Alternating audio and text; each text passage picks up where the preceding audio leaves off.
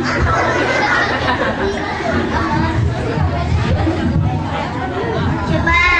sekarang lima kali tiga siapa yang tahu? Saya Bu. Oh ya Dewi. Lima belas. Oh ya siapa yang tahu lagi? Saya Bu. Oh ya Ahmad. Lima belas.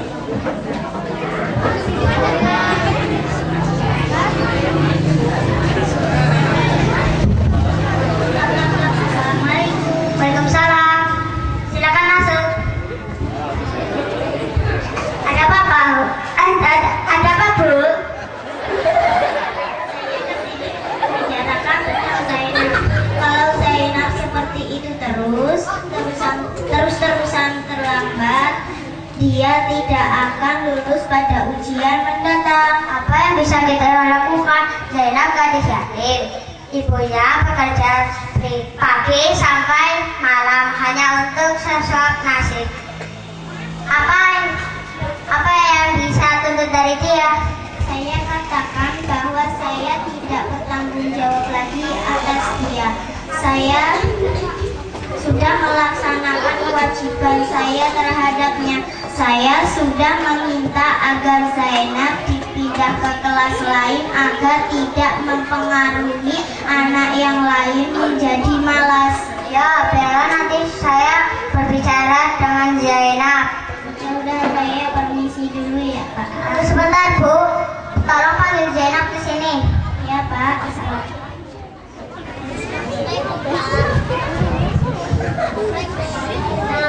Waalaikumsalam. Silakan masuk. Ini Pak Zainab. Oh ya. Zainab, kalau kamu terus-terusan terlambat, maka kamu akan dikeluarkan dari sekolah ini. Tapi tugas-tugas sekolah kan selalu saya kerjakan, Pak. Zainab, kedisiplinan itu penting dan aturan sekolah juga harus dipatuhi. Tapi, Pak,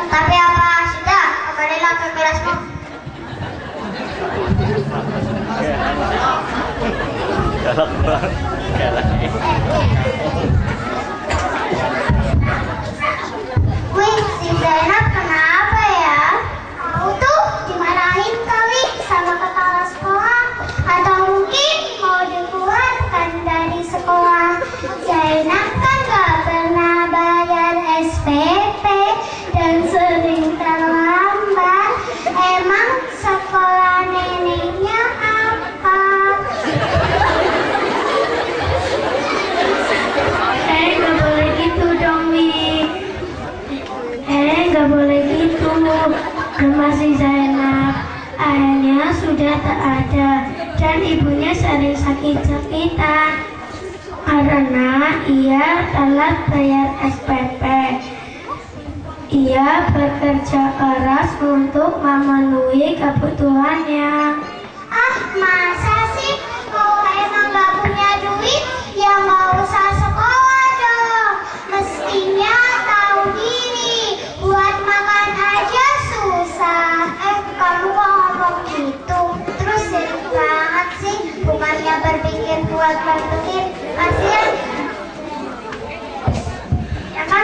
kita suka kan? Emang gue pikirin. Eh, gak boleh gitu dong, Li. Sesama teman kita harus bantuin. Sombong itu di sombong itu gak baik dan dibenci sama Allah.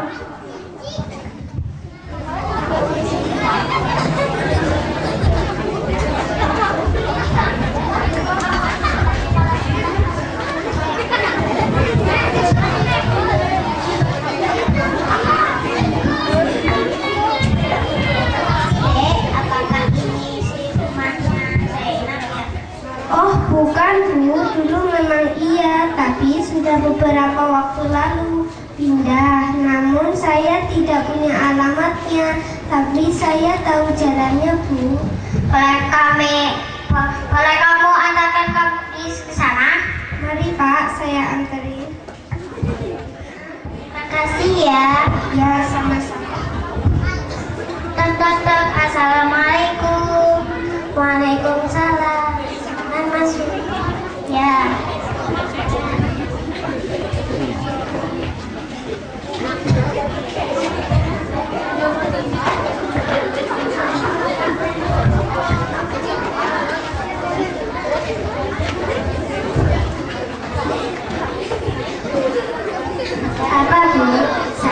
Saya ke sini untuk membicarakan tentang Zainab. Kalau Zainab seperti terus terlambat, eh, kalau Zainab, Zainab sering terlambat sekolah, dia sering ketinggalan pelajaran-pelajarannya. Zainab pelajaran-pelajarannya mungkin Anda salah alamat karena saya tidak punya anak perempuan yang sekolah. Tapi Zainab kan.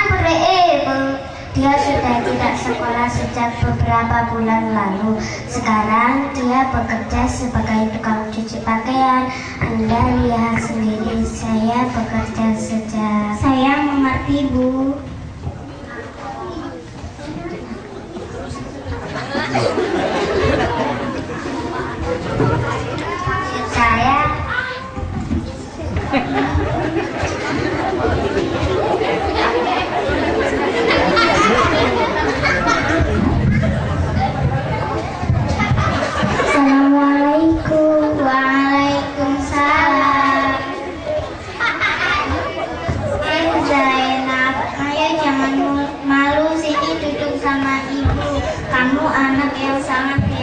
Walaupun kamu sambil bekerja Kamu tidak meninggalkan sekolah Sekolah kehidupan sangatlah berat Bapak bangga denganmu nak Kamu harus tetap semangat dan rajin belajar Kalau begitu, saya permisi dulu ya, Bu. Assalamualaikum. Pagi anak-anak. Selamat pagi, Bu.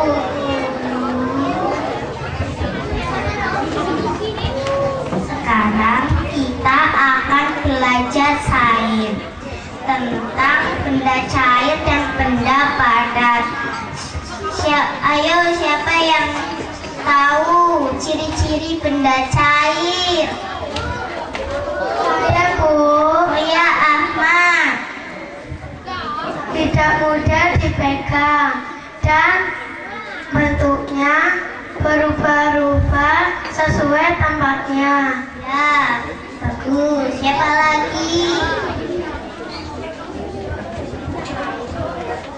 Dewi? Ya. Bisa mengalir. Ya.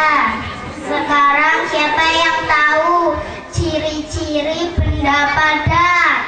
Saya Bu. Oh ya Ahmad. mudah dipegang dan dan bentuknya tetap. Ya, siapa lagi? Tunjuk jari. Oh ya, Nunung. Keras. Ya.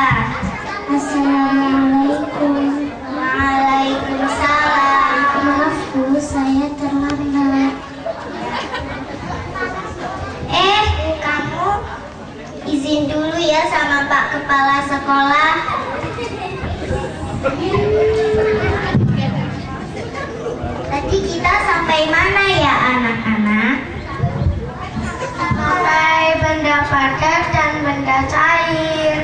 Ya. Assalamualaikum. Waalaikumsalam. Ada apa, Pak? Saya minta waktunya sebentar. Oh ya, silakan.